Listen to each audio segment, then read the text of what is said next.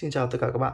Trên tay mình đang là một chiếc Samsung Galaxy A30 Và mình vừa thực hiện một cái thao tác đó là reset toàn bộ cái máy này về như lúc xuất xưởng. Và hôm nay mình thực hiện clip này để hướng dẫn các bạn Cách các bạn có thể uh, thực hiện thao tác Active vào một chiếc máy mới trên Samsung nhé Thì đây là một cái giao diện chung của tất cả các dòng uh, Samsung rồi. Và để thực hiện được cái cách này khi các bạn mua một cái máy mới Hay là khi các bạn reset máy về sạch bong ấy để các bạn có thể vào được cái màn hình chính sử dụng thì đây sẽ là những cái thao tác cần và những cái bước cơ bản để các bạn có thể vào được màn hình chính. Ok, đầu tiên sau khi ờ, thao tác các bạn bật lên thì nó sẽ là cái màn hình chào mừng như thế này. Đó, nó sẽ là cái bước đầu tiên để các bạn có thể lựa chọn được cái ngôn ngữ dành cho thiết bị. Ở đây mình sẽ chọn ngôn ngữ này và, và kéo xuống phần ờ, bên dưới mình sẽ chọn là ngôn ngữ tiếng Việt. Đó, tiếng Việt. Còn sau đó mình bấm OK là máy nó tự động nó sẽ set up và chuyển động chuyển sang ngôn ngữ tiếng Việt. Đấy các bạn thấy không? Chữ chào mừng luôn và có chữ bắt đầu. Thì chúng ta sẽ bấm vào chữ bắt đầu nhé. Đó, rồi. Ok, ở đây thì nó thông báo là gắn thẻ SIM thì mình sẽ không gắn thẻ SIM. Đó, mình chưa cần phải gắn thẻ SIM mà mình sẽ bỏ qua cái bước đó. Tiếp đến thì nó sẽ có một cái một số những cái mục mà yêu cầu pháp lý thì các bạn sẽ kích vào mục là tôi đã đồng ý và lựa chọn tất cả và tiếp tục bấm tiếp tục tiếp theo. Rồi, sau khi đã đồng ý tất cả các điều khoản sử dụng của Samsung rồi thì chúng ta sẽ kết nối với cái mạng Wi-Fi. Đấy, ở đây thì chúng ta sẽ kết nối với một cái mạng Wi-Fi bất kỳ hoặc là nếu không cần thì bạn có thể bỏ qua và cài đặt sau cũng được. Đấy, mình sẽ ấn bỏ qua cho nhanh nhé. Rồi. Sau khi à, bỏ qua rồi thì nó sẽ đến một cái bước tiếp theo đó là chúng ta có chuyển đổi dữ liệu và ứng dụng không.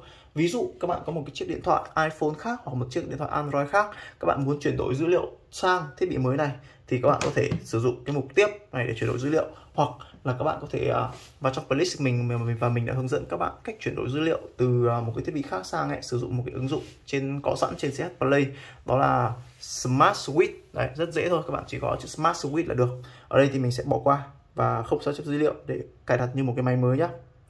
Rồi đó thì các bạn sẽ chờ một chút thì nó sẽ hỏi đến cái phần tiếp theo là các bạn có muốn đăng nhập vào cái tài khoản Google không?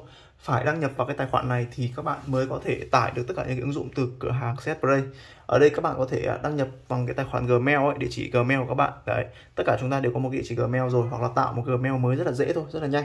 Đấy thì các bạn sẽ bấm chấp nhận và đăng nhập cho mình một cái tài khoản Gmail vào đây. Đó. Ok sau đó thì các bạn sẽ tiếp tục mở khóa. Đây ở đây nó sẽ hiển thị ra một số những cái nội dung như là nhận diện khuôn mặt này vân tay hay vẽ uh, mẫu hình cũng như là mật mã và cái số pin. Thì các bạn sẽ chọn cho mình một cái cách để các bạn có thể cài đặt được cái khóa màn hình. Ví dụ ở đây mình sẽ chọn là pin. Đấy. thì chúng ta sẽ nhập mật mã nhé một hai ba bốn chẳng hạn. Đó ở đây có một cái lưu ý mà để chúng ta tránh phiền hay là cho chúng ta thao tác nhanh hơn đó là các bạn nên tích vào cái mục là xác nhận mã pin mà không cần chạm. Nghĩa là các bạn chỉ cần nhập đúng bốn số mã pin là nó tự động nó vào luôn không phải bấm ok nữa. Đó. Sau đó bấm tiếp tục. Và nhập lại tiếp một lần nữa mã pin. Đó. Bấm ok. Đó. Như vậy là chúng ta đã thực hiện xong cái bước đó là bước uh, cài đặt mật khẩu nhá. Đấy sẽ mật khẩu cho điện thoại thì đây là cũng là cái bước mà chúng ta nên sử dụng. Tuy nhiên sau đó thì chúng ta sẽ nên cài đặt thêm là um, đề xuất uh, cài đặt bằng khuôn mặt hay là vân tay. Đấy vân tay đằng sau đây. Thì các bạn sẽ bấm vào để cài đặt khuôn mặt hoặc vân tay. Đấy thì mình sẽ đề nghị các bạn làm như thế thì nó sẽ bảo mật hơn và nhanh hơn tiện hơn chúng ta sử dụng. Rồi ở đây thì tiếp tục nó sẽ hỏi chúng ta là có tải những cái ứng dụng đề xuất hay không? Đấy thì uh, mình sẽ tắt hết đi mình không cần tải. Đấy những cái ứng dụng này thực ra thì không cần thiết đâu. Đó thì chúng ta sẽ không cần tải. Tuy nhiên ở đây nó sẽ hỏi chúng ta là phải kết nối mạng để xem được những thông tin này thì mình sẽ bỏ qua. Các bạn nên tắt hết đi nhé để tải nó tránh trường hợp nặng máy đối với những máy nào yếu. Đó và sau đó thì chúng ta sẽ bấm tiếp theo. Rồi, ở đây sẽ là đến một cái bước quan trọng nữa, một cái bước mà chúng ta sẽ sử dụng được những cái tính năng cũng như là tải được những cái giao diện mới, những cái chủ đề mới trong uh, của Samsung, đó là cái Samsung Account. Tạo cái Samsung Account này cũng rất là dễ thôi, các bạn chỉ cần à, tải đăng nhập bằng email hay là ừ, tạo bằng à, số điện thoại là có thể tạo được một cái Samsung Account này. Tuy nhiên thì các bạn cần phải lưu ý các bạn sẽ nhớ cái mật khẩu nhá hoặc là lưu vào ra đâu đó. Bởi vì sao? Nếu mà các bạn quên cái tài khoản hay quên cái mật khẩu của cái thiết bị này này thì chúng ta sẽ không thể sử dụng được cái điện thoại này nữa.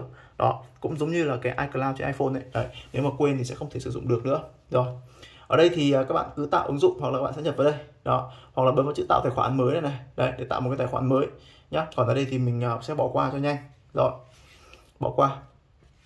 Còn à, theo mình nếu mà các bạn muốn thực hiện làm thì các bạn nên đăng nhập cho mình chuẩn bị cho mình một sẵn một cái tài khoản Gmail để các bạn có thể đăng nhập vào tài khoản Samsung cũng như là đăng nhập vào cái tài khoản uh, Set Play nhá. Và sau đó bấm hoàn tất.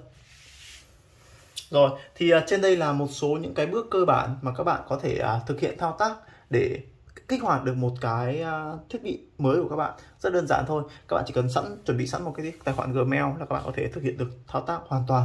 Rất dễ dàng và đơn giản. Đó. Thì à, như vậy là bạn đã vào được màn hình chính, bao gồm tất cả những cái ứng dụng ở đây. Thì à, các bạn có thể kết nối wifi, đăng nhập tài khoản Gmail và bắt đầu tải những cái ứng dụng trong cửa hàng set play này về. Đó. Thì trên đây là toàn bộ những cái hướng dẫn nhanh của mình về cách các bạn kích hoạt một chiếc điện thoại Android. Đó cảm ơn các bạn đã quan tâm clip của mình. Các bạn có thể vào trong playlist mình để tham khảo thêm các clip khác nhé chào các bạn.